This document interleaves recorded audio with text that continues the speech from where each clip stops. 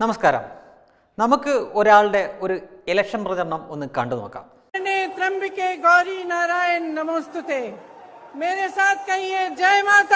എന്താ അല്ലേ സർവമംഗല്യ ശിവേ എന്നുള്ള ആ ഒരു ശ്ലോകമാണ്. അത് ആദ്യമായിട്ട് ചൊല്ലുന്നതുകൊണ്ടാണ് അങ്ങനെ അത് വ്യക്തതയില്ലാതെയും കൃത്യമല്ലാതെയും വരുന്നത്.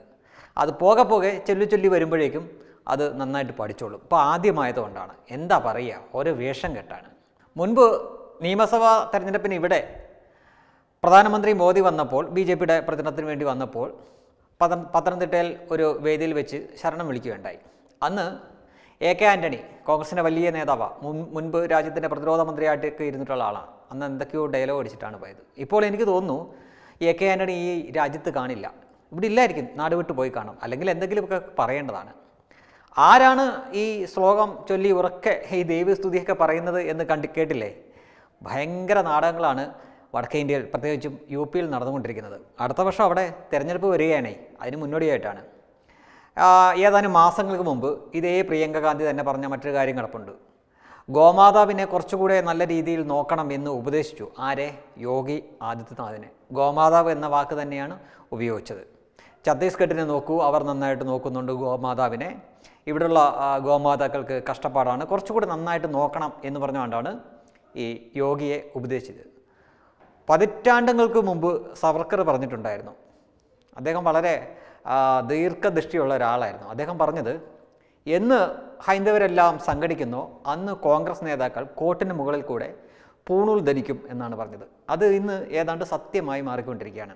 ഇതിനു മുമ്പ് കാശ്മീരിൽ ഒരു സമ്മേളനത്തിന് അവിടെ ചെന്ന രാഹുൽ ഗാന്ധി പറഞ്ഞത് ഞാൻ കാശ്മീരി പണ്ഡിറ്റാണ്. എന്റെ മുത്തച്ഛനൊക്കെ കാശ്മീരി പണ്ഡിറ്റുകളാണ്. അപ്പോൾ സ്വാഭാവികമായിട്ടും ഞാനും കാശ്മീരി പണ്ഡിറ്റുകളാണ്. പക്ഷേ ഇവരെ നമ്മൾ പല വേഷത്തിൽ പല രൂപത്തിൽ പല ഭാവത്തിൽ കണ്ടിട്ടുണ്ട്. സത്യത്തിൽ ആരാണ് ഇത് കുമ്പിടി എന്ന് പറയുമെന്ന് തോന്നുന്നു. ഈ മലയാളത്തിൽ ഇതിന് കുമ്പിടി പല രൂപത്തിൽ പല സ്ഥലത്ത് പല രൂപത്തിൽ കാണുന്നവരെയാണെന്ന് തോന്നുന്നു ഈ കുമ്പിടികൾ എന്ന് പറയുന്നത്. ഇവർ ശരിക്കും എന്താണെന്നൊരു പിടുത്തവും കിട്ടുന്നില്ല. ഇപ്പോൾ ചൂലെടുക്കുന്നത് ജീവിതത്തിൽ ആദ്യമായിട്ട് ചൂലെടുത്ത് തൂക്കുന്നു. സീറ്റ് അതായത് മെട്രോ ട്രെയിനിൽ സീറ്റ് ഉണ്ടായിട്ടും സീറ്റിൽ ഇരിക്കാതെ കമ്പിയിൽ തൂങ്ങി നിൽക്കുന്നു. പിന്നെ എന്തൊക്കെ അഭ്യാസമാണ് കാണിക്കുന്നത് ഒരു പിടുത്തവുമില്ല. പ്രിയങ്കയും രാഹുലും കൂടി കാട്ടിക്കൂട്ടുന്ന കോപ്രായങ്ങൾക്ക് കയ്യും കണക്കുമില്ല. ഇവർ എന്താണ് ധരിച്ചു വെച്ചിരിക്കുന്നത് ഓർക്കുമ്പോൾ സത്യത്തിൽ ഒരു പിടിയും കിട്ടുന്നില്ല. പത്തിരുപത്തഞ്ച് വർഷം മുമ്പത്തെ ഇന്ത്യ ആണോ ഇപ്പോഴത്തെ ഇന്ത്യ ആണോ എന്ന് ധരിച്ചു വെച്ചിരിക്കുകയാണോ ഇവർ തോന്നുന്നു. ഇന്ന് പുതിയ കാലഘട്ടമാണ് സോഷ്യൽ മീഡിയ ഒക്കെ ഉണ്ട്. ഇന്ന് ഇന്ത്യയിലെ ബഹുഭൂരിപക്ഷത്തിനും അറിയാം. മഹാത്മാഗാന്ധിയും ഇന്ദിരാഗാന്ധിയും തമ്മിൽ യാതൊരു ബന്ധവുമില്ലെന്ന്. ഈ പേര് മാത്രം ഇങ്ങനെ കടമെടുത്ത് ഇങ്ങനെ വാലിന് പേരിന്റെ കൂടെ വാലായിട്ട് കൊണ്ടു നടക്കുന്നതല്ലാതെ ഇവരുമായിട്ട് യാതൊരു ബന്ധവും ഇല്ലയെന്ന് ഇന്നത്തെ ഇന്ത്യൻ ജനതയ്ക്കറിയാം മുമ്പ് അങ്ങനെ ആയിരുന്നില്ല. മഹാത്മാഗാന്ധിയുടെ കൊച്ചുമോളെന്തോ ആണ് ഇന്ദിരാഗാന്ധി എന്നാണ് ധരിച്ചു വെച്ചിരിക്കുകയും ധരിച്ചു വെച്ചിരുന്നതും അങ്ങനെയാണ് അവരെ ധരിച്ച് വെപ്പിച്ചിരുന്നതും. അങ്ങനെയാണ് ചില തെരഞ്ഞെടുപ്പ് തെരഞ്ഞെടുപ്പുകളൊക്കെ അവർ ജയിച്ചുകൊണ്ടിരുന്നത്. ഇപ്പോൾ അതിന്റെ പിൻപറ്റിക്കൊണ്ട് ഇന്നും അത്തരം അഭ്യാസങ്ങളൊക്കെ ചിലവാകും എന്ന ഒരു മിഥ്യാധാരണയിലാണ് ഇവർ എന്ന് തോന്നുന്നു. അല്ലെങ്കിൽ പിന്നെ ഇത്തരം കോമാടത്തരമൊന്നും ഇവർ കാണിക്കില്ലല്ലോ.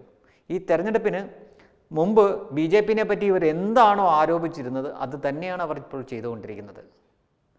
എന്തായാലും ഇനിയും തെരഞ്ഞെടുപ്പുകൾ ആ ദിവസം അടുത്തടുത്ത് വരുംതോറും ഇത്തരം വേഷം കെട്ടലുകൾ നമുക്ക് ഇനിയും നിരവധി അനവധി കാണാനുള്ള ഭാഗ്യം ഉണ്ടാവട്ടെ എന്ന് മാത്രമേ തൽക്കാലം പറയുന്നുള്ളൂ.